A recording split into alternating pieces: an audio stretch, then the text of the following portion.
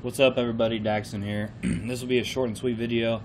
Um, just using T2 laser, which in my opinion is absolutely the best laser engraving or cutting software there is. Uh, the, the, developer of the software is extremely responsive. Um, it is called, again, T2 Laser, and the, the guy that made it, his name is Zax, I believe he pronounces Z-A, yeah, Z-A-X. He is absolutely amazing, answers me, you know, on a daily basis always has you know good knowledge and knows everything about this obviously you know since he built it.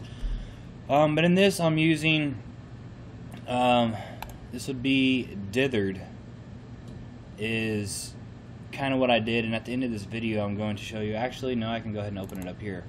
Open up the picture of this is what it looked like after I got it laser engraved. And I really think it turned out pretty dang good and the picture of this picture doesn't really do it justice. It looks way better in real life, um, but you still see the wood grain. I think it gives it an awesome look. This took about two hours.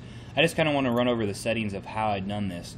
And I'll tell you one of the main problems I faced when you try to do uh, dithered or grayscale, either one, is you have to make sure that your laser is extremely pinpoint focused. If you're just a little bit off, I noticed you're not going to get a good image come out, if at all. It'll just be, you know, black burn. You won't even be able to tell what it is. So you have to make sure your laser is focused really, really good, as good as you can get it. My speed I done this image at, which you can probably adjust this a little bit, but I run it here at 750. and I leave the minimum laser power at zero, maximum at 255. That worked fine. I put this at point two, which you can go to point one. I believe it would, it would probably take, yeah, twice the time, but the detail is going to be really twice as good. And then last but not least, this is just your size. The size I done was 150 by 78 for this little, it's on a 5 by 7 piece of wood I got at Walmart. Um, just a little thin piece of wood. Especially experimenting, I don't want to use any more, you know, expensive wood. I want to, you know, start cheap to test it out. But anyway, that's my settings. And then also, I know if you change some of these, um, for me it was like automatically going back to this or move over here or something. I'm not sure why. It's probably just some type of glitch or maybe something I did wrong. But after you change these settings and get them how you want, I had to come back and make sure to click dithered again so it looks like this. And then go to control the laser, generate G-code. You'll see it loading down here. And uh, also something else really cool about T2 laser is you can go to view here once you get your G code loaded up. And this will show you this allows you to run a simulation of what your engraving is going to do how it's going to work. Um, you have let's see if I can remember.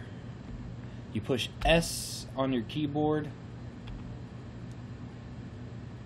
And you can see it there it's engraving. You can see it going it's making a bunch of dots really. It's almost like an eye illusion it's making a bunch of uh, dots to turn it into the picture.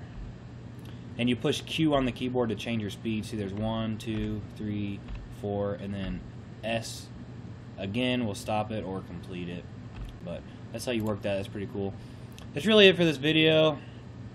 And then, of course, let me get out of this. Um, of course, when you're ready to go and you get it all squared up and everything, you push this little envelope. Normally, first though, you'll go to mach machine and then trace frame. Um, make sure you have your laser, depending on how you have it set up, like mine, I always have my laser where I want it in the middle of the object. Put machine, trace frame, and it's going to outline kind of where your engraving is going to be on your wood or leather or whatever you're engraving. When you're ready to go, then you can send the G-code by clicking this envelope. You can move everything right here. Uh, but that's it for this video, just kind of going over my settings for dithered and how I got it to work. And uh, oh, and also one more thing, be important, I guess, really this video for my settings is my laser is a EleksMaker, Elks maker, however you want to say it. It's one of the blue lasers. The beam's blue and the housing of the laser is blue. I'm not sure if that really matters or not.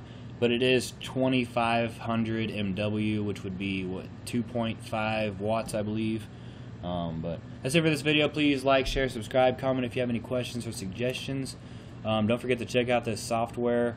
Um, it's actually extremely affordable, and I don't know what I would have done without it. Like everything else, in my opinion, pretty much is junk. This is this is as good as it gets right here, guys.